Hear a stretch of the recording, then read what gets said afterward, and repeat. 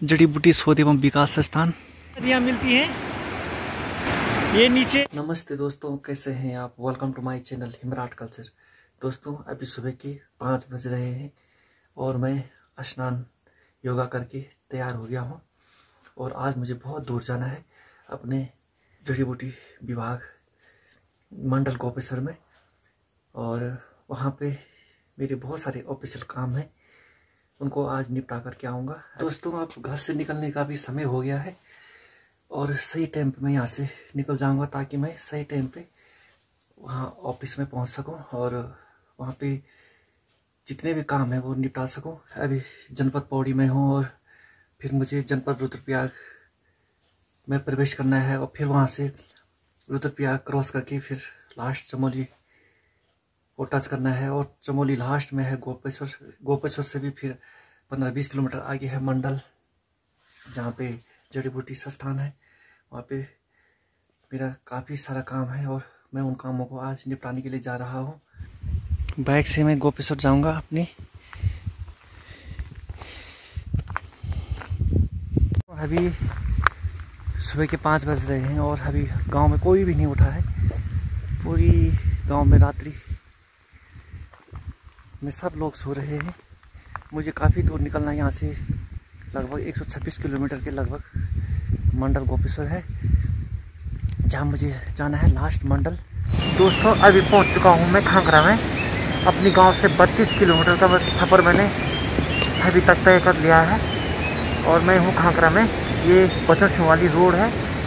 अभी भी रात नहीं खुली है और मैं पूरा बत्तीस किलोमीटर का सफ़र मैंने तय कर लिया है। यहाँ तक पहुँचने में मुझे डेढ़ घंटे का समय लगा। अब यहाँ से रुद्रप्रयाग आगे है। यहाँ से आप आगे का सफ़र शुरू करेंगे। तो ये है नेशनल हाईवे, राष्ट्रीय राजमार्ग, अट्ठावन। गाड़ी में इमरजेंसी के लिए अपने साथ एक पेट्रोल की बोतल यहाँ से रख लूँगा। गाड़ी में तेल टंकी भरी हुई है और क्योंकि वहाँ काफ़ी दूर है तो वहाँ दूर दूर तक पेट्रोल पंप नहीं है। हमारा तेल ख़त्म हो भी जाता है, हमारे पास ये बोतल रहेगी और जिससे आराम से 30-35 किलोमीटर इस बोतल से मैं सफ़र कर लूँगा। Rudraprayag main market. और अभी मैं रुद्रप्रयाग में हूँ। चाय पानी पी लेंगे। Rudraprayag main market.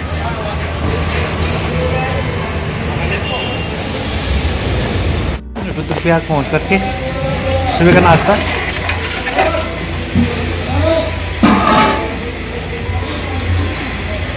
Chole, green चटनी और पराठा। चाय में अब नाश्ता हो? गया है अब आगे करेंगे यहाँ से गौचर के लिए अभी मैं रुद्रप्रयाग में हूँ, यहाँ से मुझे के लिए आगे सफ़र शुरू करना है।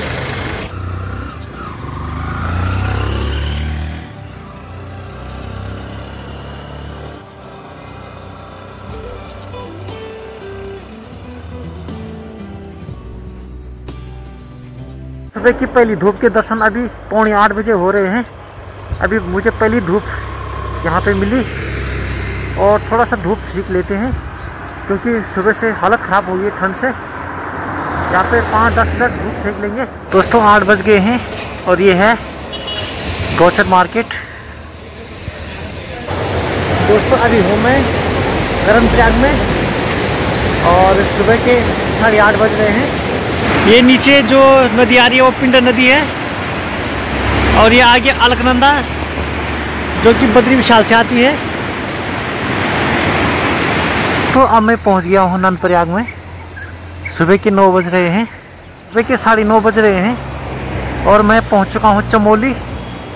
ये आगे चमोली मार्केट, चमोली जनपद का चमोली जिला। और ये चमोली जनपद का मुख्यालय ये सुंदर बिगड़े दृश्य, गोपेश्वर।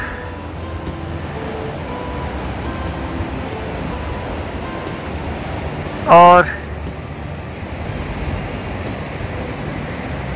ये अलकनंदा नदी अपनी सुरमय धुनी से अलंकृत होकर आगे बढ़ रही है।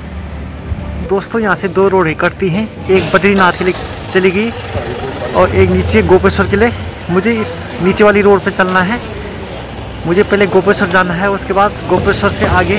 दोस्तों, मैं हूँ यहाँ अभी गोपेश्वर पेट्रोल पंप में और यहाँ से अब जहाँ मुझे जाना है, चौदह किलोमीटर है। दोस्तों, रास्ते में ये जय महादेव रुद्रनाथ जाने का ये पैदल मार्ग है। यहाँ से आप रुद्रनाथ का ट्रैक भी कर सकते हैं। जो कि पैदल ट्रैक 18 किलोमीटर है, ऊपर इन बुग्यालों के पीछे। बैरांगना पुल में हूँ और यहाँ से अब हमारा संस्थान अब नज़दीकी है। कम से कम दो तीन किलोमीटर रह गया है।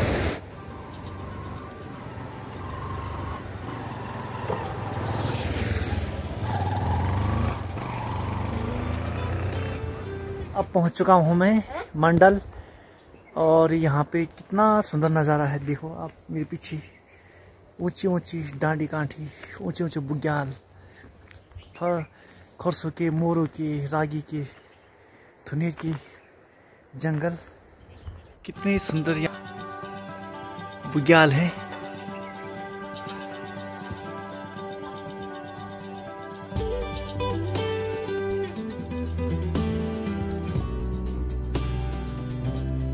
दोस्तों फाइनली मैं जड़ी बूटी शोध एवं विकास संस्थान मंडल गोपेश्वर पहुँच चुका हूँ।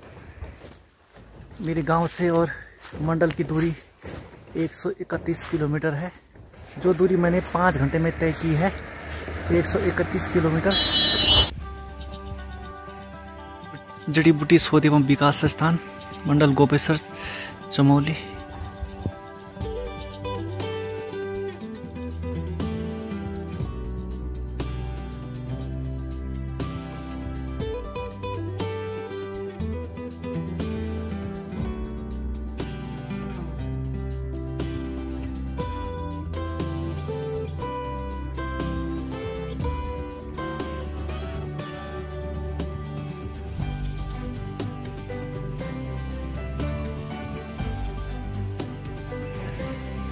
पौड़ी? हाँ पौड़ीगढ़ वाला जी। ये है जड़ी बूटी संस्थान की नर्सरी मंडल गोपेश्वर में। दोस्तों अब घर वापसी की बारी है।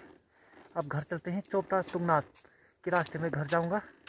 दोस्तों आज के ब्लॉग को इतना ही रखते हैं। अगर आपको हमारा वीडियो पसंद आता है तो हमारे चैनल हिमराट कल्चर को लाइक करें सब्सक्राइब करें शेयर करें ताकि हम नए विषय पर भी सुंदर सुंदर वीडियो बना करके आपका इंटरटेनमेंट कर सके आपका मोटिवेशन कर सके।